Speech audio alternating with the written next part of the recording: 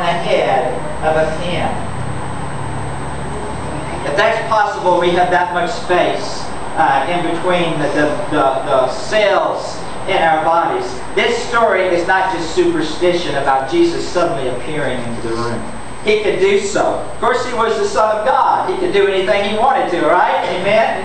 Amen. He could appear uh, there to them. The Old and the New Testaments are the records of God Uh, attempting ever since then to bring man back into right relationship with him.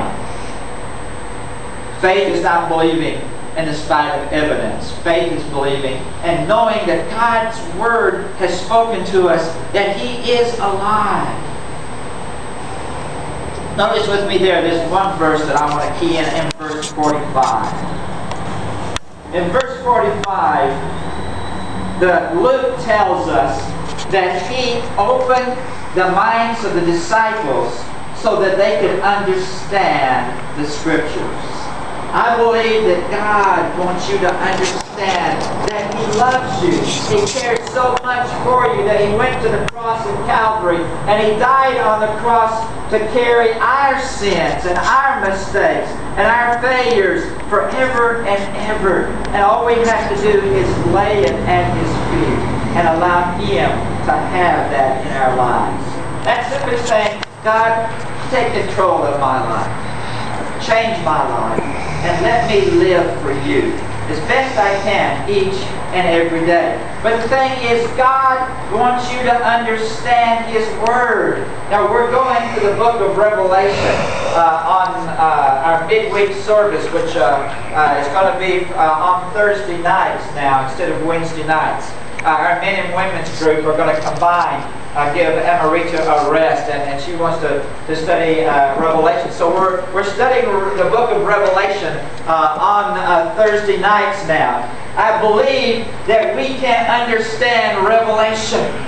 And how can we believe that? We have the Holy Spirit, Jesus' Spirit that He left here with us and we can ask the Holy Spirit, give us your divine wisdom concerning this scripture. And I believe He will help us get through the book of Revelation. Amen? Amen. Amen. One final thing as I, I share with you in verse 53.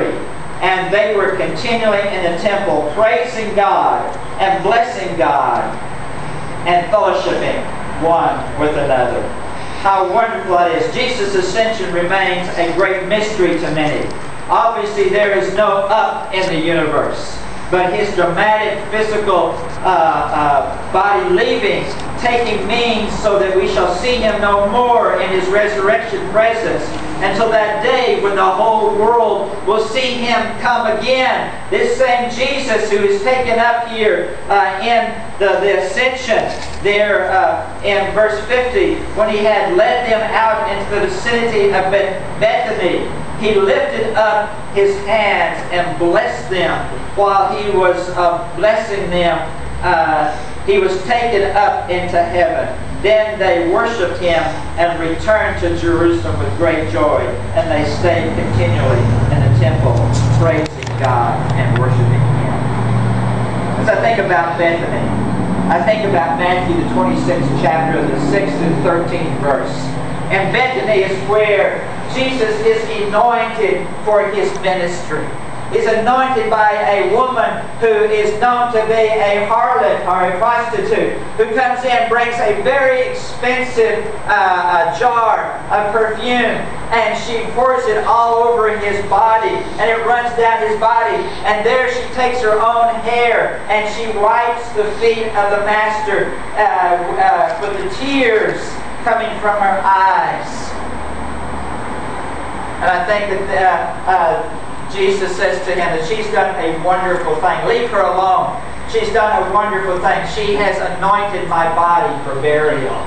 And then we see in Bethany, a short distance right side of Jerusalem, Jesus is taken up into heaven and he goes into the clouds of the air. And we have the hope that one day he will come in like manner. Praise the Lord.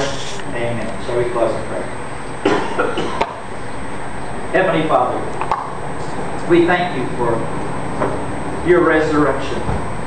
We thank you for your ascension into heaven. Thank you that we have hope for the future. That we can put our trust in you. That we don't have to worry about dying.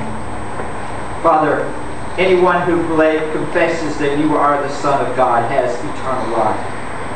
1 John 1 9 says, He who has uh, uh, the Son has life. He who does not have the Son does not have eternal life. Father, if there's one here today that would say, I do not have the Son in my life today, and would like to have the Son in their life today, would you just raise your hand with every head bowed and every eye closed? Is there someone here today you say, Yes, I, I have I know Jesus in my brain, but I never received him. The Bible says, as many as receive, as many as receive him, to them have they been called the sons of God.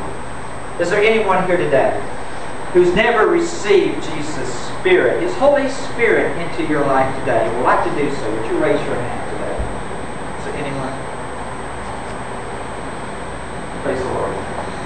Heavenly Father, we must all be believers in you, Father, today. Father, I pray and thank you, Father, for each of the believers here today. Lord, I pray, Father, that, Lord, as we believed in you and we trusted in you, Father, we received you. You said, Behold, I stand at the door and I knock. If anyone opens that door, I'll come in and sup with them. And Lord, we ask that you be with us, Father, as we continue on in our lives. Sometimes it's hard.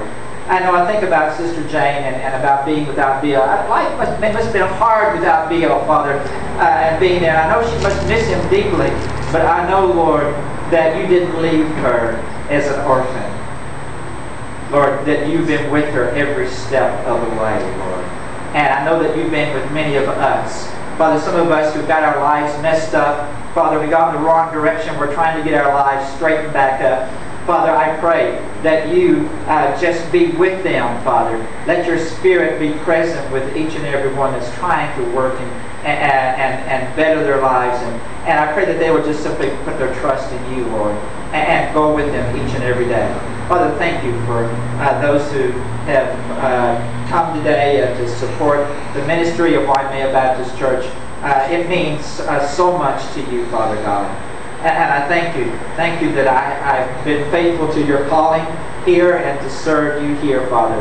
Uh, as Paul said unto Festus, Festus and King Agrippa, I was faithful unto the heavenly vision. Lord, you gave me a vision. You told me uh, that you would provide a church for me to serve uh, you, Father. And you didn't promise me a rose garden. You didn't promise me hundreds and hundreds of people. But you promised me a church that was your church. That would be a lighthouse into this community. And Father God, as we look back at these pictures on the backboard, we have been a lighthouse unto this community. Lord, please let us continue to do so and continue to reach others and love others into the kingdom of God. For it's in Jesus Christ's name we pray. Amen. Amen. Can we close? Is our, our closing hymn.